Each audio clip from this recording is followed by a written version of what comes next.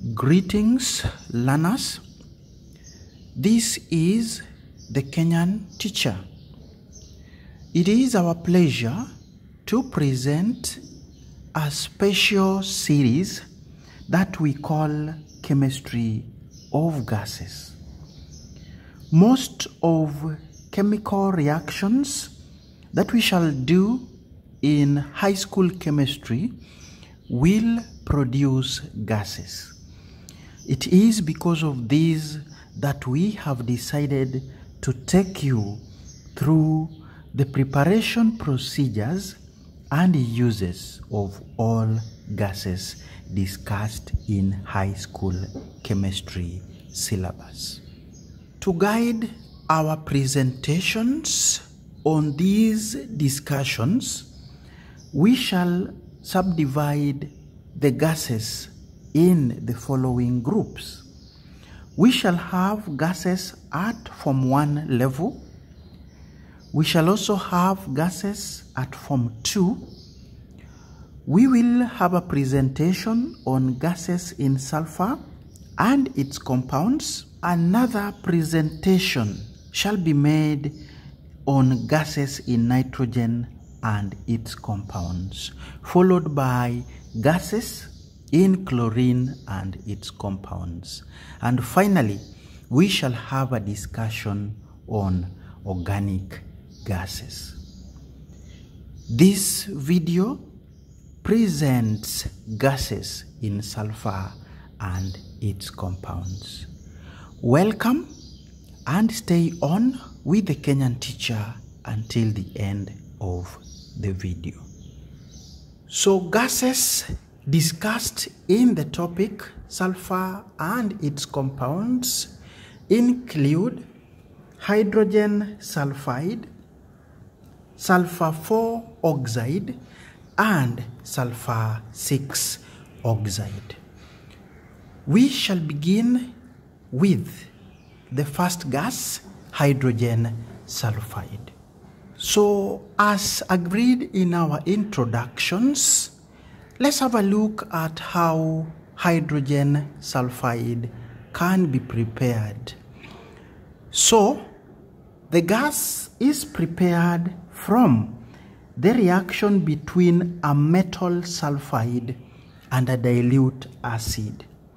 For our discussion, we shall use iron 2 sulfide as the metal sulfide. But for dilute acids, we shall have hydrochloric acid and we shall also write an equation for that reaction which occurs when you use dilute sulfuric 6 acid.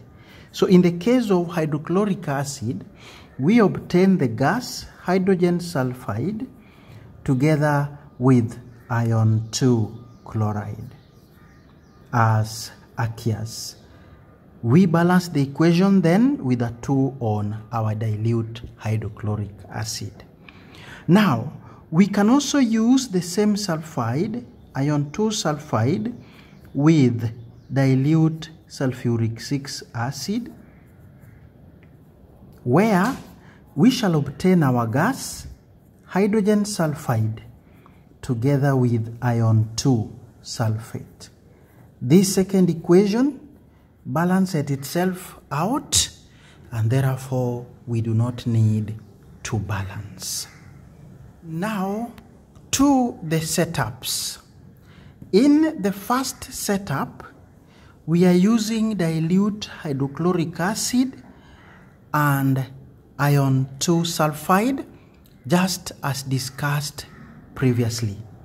So we shall introduce the dilute hydrochloric acid through a thistle funnel into a flat bottomed flask that has iron 2 sulfide.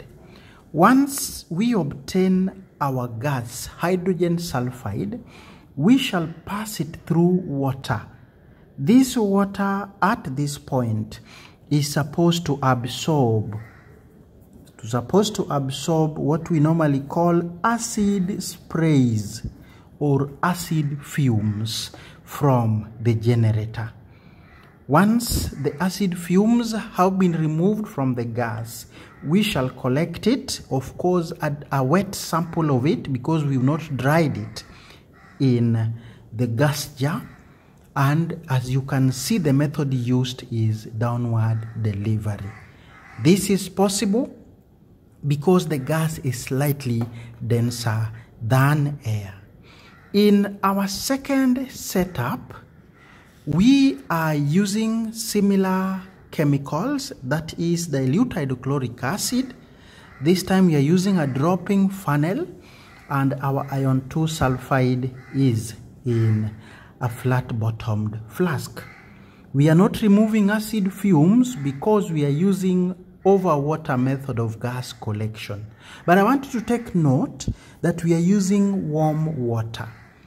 We are using warm water because hydrogen sulfide is fairly soluble in cold water, but it is almost insoluble in warm water. So in these two instances, we are collecting dry sample of hydrogen sulfide. If we need it dry, then we shall pass it through a U-tube that is packed with anhydrous calcium chloride drying agent.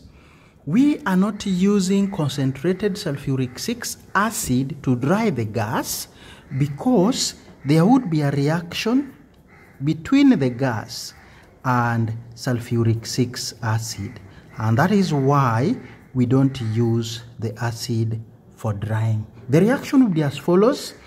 Our hydrogen sulfide would be oxidized to sulfur and sulfuric 6 acid reduced to water. The equation will be balanced with a 3 on hydrogen sulfide, a 4 on sulfur, and another 4 on water. And that does it for the production of hydrogen sulfide. As we conclude on the gas, we mentioned that hydrogen sulfide is primarily used to produce elemental sulfur. Once we have obtained elemental sulfur from hydrogen sulfide, then we can go ahead and use sulfur to do, among other things, vulcanize rubber or in the contact process to produce sulfuric 6 acid.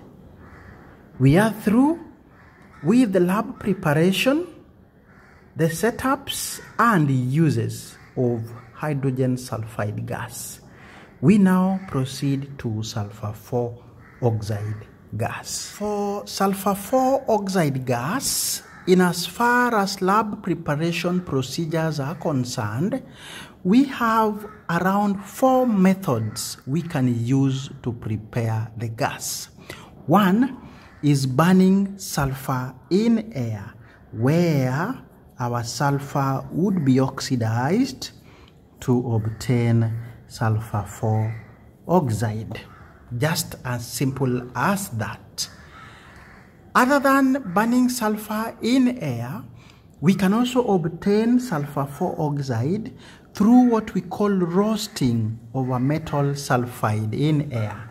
And here we have quite a number of sulfides we can use.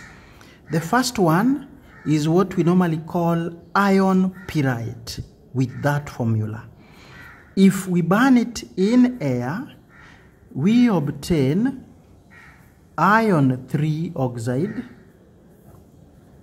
we also obtain our gas, sulfur 4 oxide gas. Of course, we balance 8 on the gas, 2 on the oxide of iron, 11 on oxygen, and 4 on our iron pyrite. This is the common name. The other sulfide we can use is what we call zinc blende. This is zinc sulfide being heated in excess oxygen and we get zinc oxide together with sulfur 4 oxide balancing with a 2 on the oxide a 2 on zinc oxide a 3 on oxygen and a 2 on our zinc blende. That is the common name for zinc sulfide. We may also have what we call galena lead sulfide. When you roast it in air, we get lead oxide and some sulfur 4 oxide gas balanced with a 2 on the oxide, a 2 on lead oxide, a 3 on oxygen, and a 2 on our galena. Method 3 would involve oxidizing a metal using concentrated sulfuric 6 acid. So here, the metal we are oxidizing is copper and we introduce concentrated sulfuric 6 acid via this dropping funnel. Once our gas has been obtained, we shall pass it through concentrated sulfuric 6 acid to dry it. And then finally, we collect a dry sample in a gas jar by the downward delivery method. The equation for the reaction would be copper metal reacting with concentrated sulfuric 6 acid to get copper 2 sulfate to get water and sulfur 4 oxide gas. Of course, we balance with a 2 on water and a 2 on the concentrated sulfuric 6 acid. And now to our last option when it comes to preparing sulfur 4 oxide. This would involve reacting a suitable sulfite with an acid. Our sulfite here would be that of sodium and we shall use dilute hydrochloric acid. Again, we shall dry our gas by passing through concentrated sulfuric 6 acid and we collect dry sample in a gas jar via the downward delivery method. The equation for the reaction this time is sodium sulfite reacting with dilute hydrochloric acid.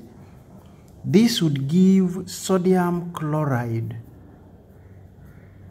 water, and our gas, sulfur 4 oxide.